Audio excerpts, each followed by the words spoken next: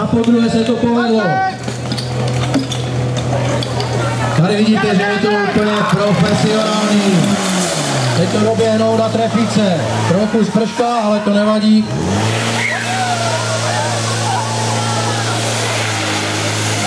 A je to i s kulturní vložkou. Výsledný čas rovná 17,515